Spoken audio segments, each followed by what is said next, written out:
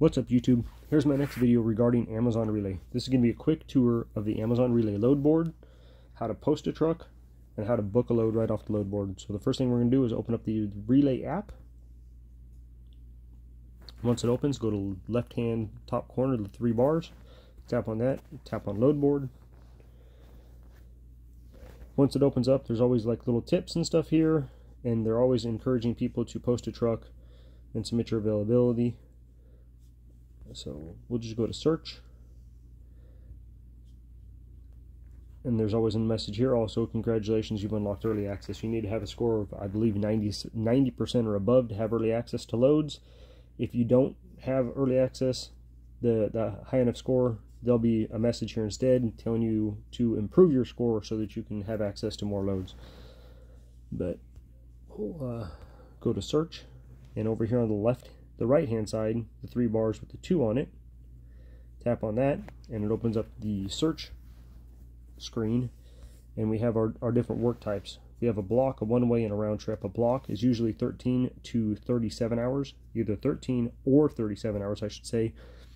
Um, the only thing that is displayed on the load board for a block is the starting location, the starting time, the ending time and a block almost always brings you back to the same exact starting location. So if you start at PHX1, um, which is an Amazon warehouse here in Phoenix, you'd return to PHX1. Um, if you booked a, a, a, block load for, let's say, $1,500, um, you, you mo most likely will get quite a bit more than $1,500 for the load. They, they only show the total payout. They never show mileage because you have no idea. They actually don't have any idea of how many stops you're going to do or what kind of mileage you're going to do at the time they put the block up um, to book. It isn't until I believe 24 hours before the load departs that's when they actually fill in all the work. But so then they add fuel sur fuel surcharges, tolls, whatever. So uh, $1,500 block could actually end up paying out 2,000 to 22 $2,400 but but that's a block. A one way is pretty self-explanatory. You're going to start at one location, you're going to end at another location. It could be a different city, it could be in the same city, but it just if you start at PHX one, um, you might end at PHX six, uh, and that could have numerous stops on it. Also, a round trip that just means that it's going to bring you right back to the same facility that you started at. So if you start at PHX one, you will end at PHX at PHX one. Um, but we will search for a round trip and a one-way from Mesa. We'll put to anywhere for the destination. Start time, start date, you could fill that in, we'll leave that blank. Any stops, driver type, solo or team, we'll select solo. Trip length, you can search for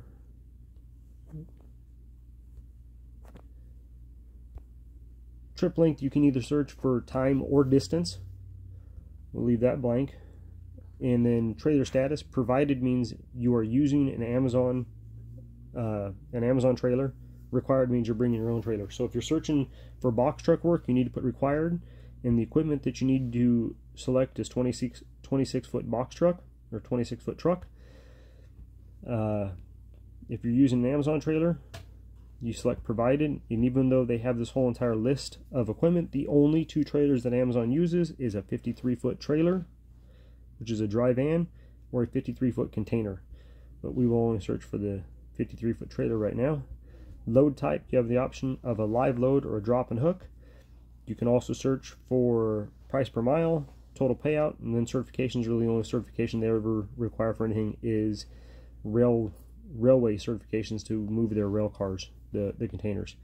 We'll submit this and we'll see what comes up.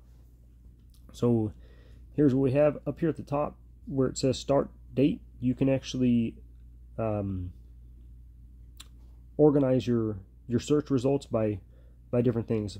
The default is always the nearest start date, but you can do price per mile highest, per distance highest, the shortest mileage. Uh, we'll yeah we'll, we'll, just leave it at the uh, price per distance highest. I'll pause this screen so it stops changing on us. And some of the little key factors on this screen are these lightning bolts, these little turquoise lightning bolts right there, that indicates that that load is eligible for next day pay. So this load finishes, completes on Monday at 8:40 in the morning, you would get paid for this load the next day, Tuesday by by the end of the day. Most Amazon loads, if you complete them by Saturday at midnight, they pay out Wednesday that following week. So this load you get paid at least a day, actually uh, almost a week early on on this one because since they, it wouldn't get paid out until regularly Saturday would be the closing um, payday for that. The other thing, which I don't see any of them on these loads, is a little black padlock. Oh, right here's one. This little black, black padlock right there next to the 167. That indicates early access. So not everybody can see this load. Only people with the score 90 and above or whatever whatever the, the cutoff is with, with Amazon for score wise. Some other things to look at on these loads. Uh, let's find one with multiple stops. This one right here. A black circle like this, the solid black circle next to the 53 foot trailer, that indicates that you are picking up a, a loaded trailer. A white filled in circle, that indicates that you are picking up an empty trailer. But other than that, um, it always has a, a, scheduled arrival time, scheduled departure time. Um, that's pretty much it for, for booking a booking a load with Amazon. So the the only other thing is is that unlike some other websites, load boards, JB Hunt, Schneider, whatever, where you can bid on work, there is no bidding on work. You you book this load. They have it listed at six ninety four. That's the price you book it at. I mean, you could wait a little bit longer, closer to the to the arrival scheduled arrival at the facility, the 303, and they might raise the price on it. They could lower the price sometimes, but there is no calling them up. There is no bidding on the on the load. I mean, if you want that load right now, you book it for for 694. The other option is to post a truck. That's the closest type of way of uh, bidding on work, and it's very similar. You just go to this other screen over here, post a truck up at the top on the right side, submit availability, and the screen for submitting availability is very very similar to the screen for you know your search criteria for for booking work. Fill in all the all the um the options um, for box truck work. Like i said they only offer one way. So um, that'd be it. And the one key thing with with amazon relay if you submit your availability again it's not like a normal load board where they're going to send you a message and be like congratulations we've accepted your your availability or here's a load we have for you they will automatically put the work on you. If there's if there's work that matches your your criteria for for this this search, they're going to put it on you. So if you only have one truck, um, definitely don't overlap um, your your availability. Don't don't double search. You know, a, a one way trip and and a round trip or something like that. Because if there's if they have loads that match, they're going to put two loads on you, and then you won't be able to do them both at the same time.